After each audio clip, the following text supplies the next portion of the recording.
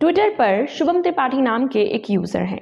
इनके बायो के अकॉर्डिंग वो न्यूज़ नेशन के एंकर और प्रोड्यूसर हैं।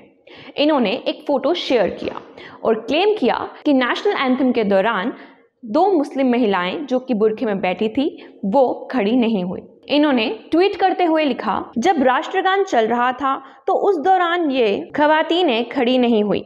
फिर कहते हैं, सभी का खून शामिल है।